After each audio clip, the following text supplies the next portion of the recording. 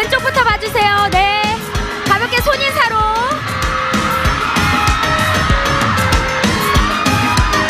자, 정면도 한번 봐주시겠습니까? 네, 감사합니다. 네, 손인사도 해주시고요. 감사합니다. 이어서 오른쪽도 한번 봐주시겠습니까? 네.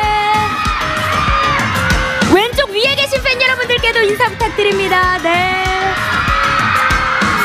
감사합니다. 고맙습니다. 네.